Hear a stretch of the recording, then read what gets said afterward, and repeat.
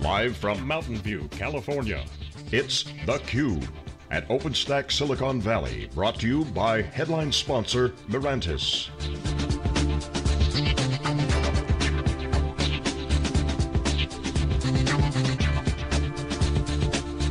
Here are your hosts, John Furrier and Jeff Frick.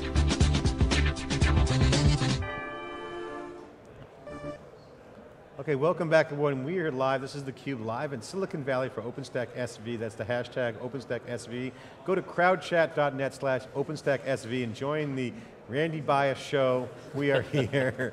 uh, my co-host Jeff Frick, our next guest, CUBE alum, uh, Randy Bias. Uh, we've known you, Randy, when the Clouderati was, before the Clouderati was called the Clouderati. There was like three of us and four of us and six of us and all the crew. Now it's huge. Now it's OpenStack. So welcome to theCUBE. Thanks, Jeff. We've been around uh, the block. I want to ask you about um, just your take here. What's, what's your presentation? What are you doing? How's it all going down? Um, so I got here a little late and the traffic wasn't great on 101. Never, Never is. is. That's a good sign for the economy, I guess. Um, but uh, you know, uh, the presentations before me were really good, fairly technical. Um, I think I got on stage and kind of shook things up a little bit because I wanted to talk about um, the overall direction of OpenStack. I wanted to talk about you know, how we can make OpenStack more successful, make the community a better place, um, and uh, I wanted to really sort of uh, draw out what I thought was a glaring problem that needed to be discussed that I think is um, people are sort of glossing over. So what specifically were you critical of? Um, so, I, so OpenStack has a clear mission. Um, you know, there's a vision for the pro, for the for the overarching OpenStack uh, community and for uh, the people in OpenStack and what they all want to accomplish. You know, you, there's a mission on the OpenStack Foundation website and so on, but there's not really product leadership um, within uh, OpenStack. There's sort of this big gap between the board of directors and the foundation, which see themselves as responsible for uh, the strategic business direction, and the technical committee with the uh, PTLs in it that see themselves as responsible for the six-month integrated uh, release for, for basically the software development lifecycle. And so the problem is, is that there's nobody who's really responsible, there's no ownership for what is the long-term product vision on a project by project or program by program uh, component within OpenStack. So there's a PTL for say Neutron, but there's not a product manager or you know a some people that support the PTL and help them with sort of long-term prioritization So talk setting. about the importance of this issue and some of the consequences if it's not addressed from your perspective. Um, you know, one of the things that's gotten very challenging is that, you know, when OpenStack started, it was only two projects, right? It is now nine projects that are integrated. I think in another year we may have double that number. We'll have close to 20 projects in integration. And it, as it gets bigger and bigger and bigger, um, the challenges become more and more and more to make sure that we have su success in each of those. So one of the things that may start happening is that it may cause a breakdown, it may cause failures to get to that six month integrated release. We may have bugs where one uh, uh, uh, project can't talk to the other and so on. Um, and it also means that we will continue to have these ongoing arguments about is OpenStack the code, is it the APIs, you know, what kind of hypervisors do we support, you know, what, what, is, what does object storage mean, what does block storage mean, and so on. There's not really anybody who kind of owns uh, creating alignment around kind of, uh, you know, shared vision for each of these projects. So we're seeing a lot of commentary around the usual things here. I want to get your take on it. Uh, Mirantis had a presentation. Their number one thing on what to do is to focus on the APIs as the key to adoption. I mean, this is something that's been, you've been discussing for a while, going back to the API debate, the great API debate that we broadcasted. Um, what's your take on that? I mean, The, the APIs are important, um, but they're not the only thing that's important. The code is also important. Um, and uh, probably most important is that we have some kind of understanding of um, what each of these things is. Let me, let me give you a concrete example which I'll kind of try to identify where problems arise.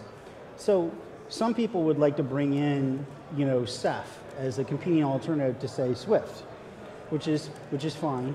Um, Swift has a view of the world about object storage that says object storage is what they call eventually consistent, right? One of those cloud technical terms. Um, and you know, Ceph has a vision of object storage where it's strongly consistent, much more like block storage. So there's nobody there to really have a conversation with about like are Swift and Ceph really competitive? Maybe Ceph is really more in the block storage project. It's really part of the Cinder project, not our Cinder program, rather than part of the Swift program. You know, because it doesn't meet certain guidelines. There's no vision about what is object storage so you can have a measuring stick against it, right? At the same time, maybe it does fit, um, and then there's a question of like, can Swift and Ceph uh, you know, uh, coexist, and if they can coexist, how would they coexist? Is there one PTL on top of the object storage program, and then there's different product managers for you know Swift and for Ceph and so on. And I think that you know that stuff's just unfortunately the issues come up, and we butt heads about them, but we have no way to actually resolve them. Well, so we're getting commentary from the crowd here, Tim Crawford. I agree there are many issues and not many solutions yet. Um, concern with that? Happy about that? Good thing? Bad thing?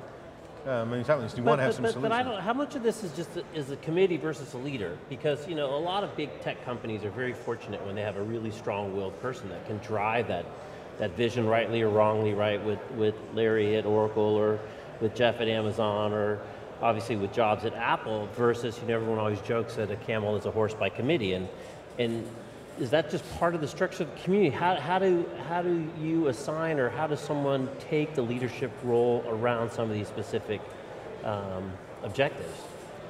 Well, I mean, is there best practices or kind of what, what the, what's the your ideal thing, state? So the important thing to, to, recognize is that there's no single model. People have solved and resolved these kinds of problems in the past in a variety of different ways. Sometimes it's the single strong leader, sometimes it's a smaller group. The thing it never is is grassroots. It's never grassroots because there's too many people, like you said, the, the camel, camel's a horse by committee. There's too many people who have kind of like widely differing opinions about what it needs to be. That will never work. It doesn't necessarily need to be the benevolent dictator. It can be something else, but it's not going to be, you know, uh, uh, you know, all the developers in aggregate making decisions and you get some kind of emergent vision. That's not what you get. That's when you get the camel, right? What we need is we actually need a smaller groups of people who are focused on tighter, more uh, controlled missions who can actually help to drive alignment and raise problems like the one I said between Swift and, and Ceph, you know, out to the community so that they can eventually be resolved. And do you think those will be driven by expertise, by passion, by position, by a vote of the of the a vote of the group to assign that responsibility to get behind, or you know what's kind of what's kind of your hope, or as you said, what are some of the other uh, examples that that that OpenStack can learn from to execute this? Well, great product leadership. Um, well, you know, and if you look at any kind of startup, great product leadership comes from a combination of two things: ruthless prioritization and saying no. And so I think those are those are the biggest startup challenges, right? That's right. and so I think that you know we need to have the same. You know, one of the greatest things that Linus ever did for Linux is he would say no when people wanted to put things in, and he had you know he could veto things. We we don't say no much at all right now in OpenStack. You know, if you write the code and you follow the rules and you make sure it gets you know upstream, then it just gets upstream. And part of that's because it's clear that the PTLs don't feel that it's, to a certain degree, that it's in their remit to make decisions about that kind of stuff. And, and, I, and a lot of the time, the PTLs are working for some of these companies too. So, you know, if they did say no, they would be perceived as being biased and so on. You know, part of the reason for having a separate product leadership function, as I proposed, is that we want to make sure that that is not owned by any company. It should be owned by the foundation, even though it's a little bit non-traditional kind of uh, you know, model for the foundation, um, so that those people can be relatively independent. You know, I alluded to somebody on Twitter misunderstood me. They thought I said that uh, Linus Torvalds was a product manager. No, that's not what I said. I said that he does do the product management function. He does say no. He acts as that, uh, you know, strong leader, the product leader who's got a sense and a vision of what needs to happen, which is what a product manager does. Right. And so we need that inside OpenStack in order to be more successful. And it cannot be uh, an interest that is beholden to any corporate you know, entity and, you know, to a certain degree, the PTLs are 100% max, just making sure that the six months in, the six month integrated release happens, and that's going to get worse as we go from nine integrated projects to maybe as many as 20. So I got to get your take on, obviously, Eucalyptus selling to HP, CloudStack is kind of taking its course, OpenStack clearly there. Do you remember the old debates? You know, CloudStack, OpenStack, Eucalyptus, now kind of all kind of naturally taking its course. What's your commentary on, on where it's ending up? Yeah, I mean, I, OpenStack sucked all the oxygen out of the room for CloudStack and Eucalyptus a long time ago, and now we're just seeing kind of the move to sort of the final chapter. Um, you know, I, am not sure I, I, really should make any comments there on, you know, Eucalyptus or CloudStack. And, you know, both were good products. They had good teams behind them. You know, and I am in particular a big uh, fan of Mårten Mickos, and I think he's going to help HP really get their their uh, proverbial uh, stuff together. Um, and uh, you know, so so I think that's great. But you know, the reality is is that you know, when we, when we decided to bet on OpenStack in summer of 2010, we decided to do that because we saw two things. One, it was going to have a lot of momentum, and two, it was focused on community. And Eucalyptus and CloudStack had been open source in, in license only. They hadn't really focused on community.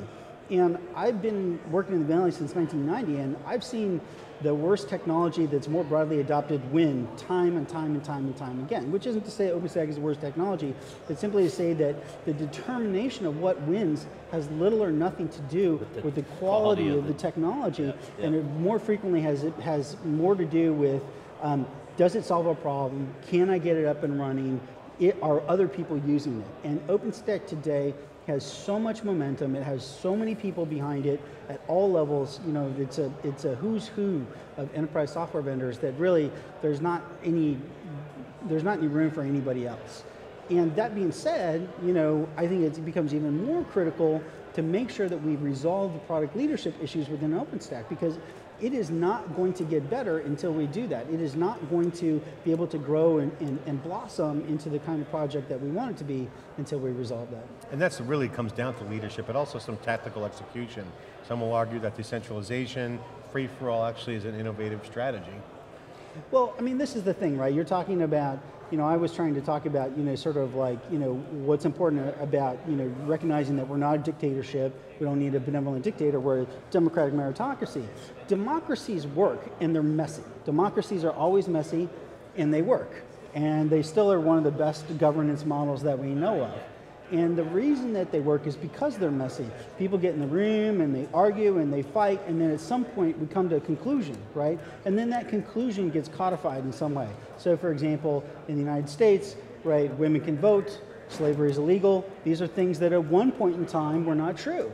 And through the democratic process, we came to a group agreement about it, and then that got codified that is the way that OpenStack is going to work. It's going to inherently be a slower process. It's inherently going to be a messier process. People with a lot of emotion and angst and, and concerns, and everybody's passionate about it. But the goal is to get to those conclusions and to then put them behind us. Right now, unfortunately, what's happening is there's a lot more spinning in circles than anything else.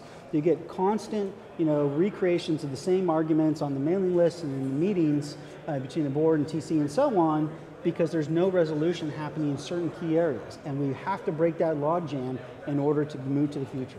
Okay, so the last couple of minutes, I want to just get your take on state of the customers, right? We're always looking for the meat on the bone.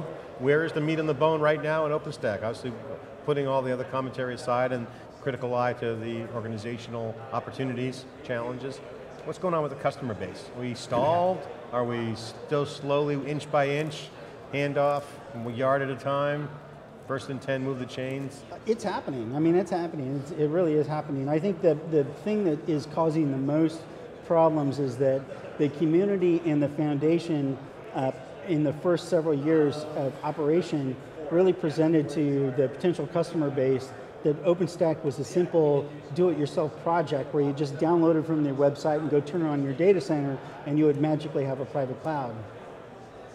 And the reality of the situation is that enterprises are going to consume OpenStack in the same way that they consume most open source, which is through a commercial entity that has a product that's based off of OpenStack, where that commercial entity is fully productized, OpenStack and is delivering, you know, sort of like, you know, more of a turnkey solution to that enterprise. And that's, that's just the reality. So still right now, the vast majority of early adopters are folks who can invest into kind of DIY projects like Symantec and so on.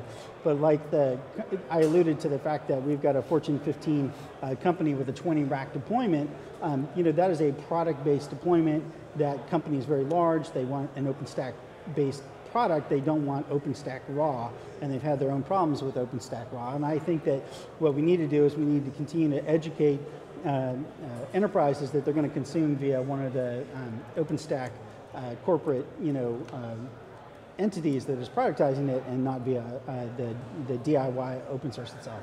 It's kind of like the whole Hadoop story, right? And, and, Totally. and the distributions around Hadoop and the commercialization around those distributions and the enterprise support of those distributions, and even though the foundation is built on an open source project, really that's, people want to solve solutions, and if that's the best way to do it and, and really leverage the open stackness for innovation and growth and, and product development. Yeah, very similar. Randy, thanks for coming on theCUBE. Uh, great commentary. We'll see you on Twitter. Thanks for coming on theCUBE, sharing your perspective.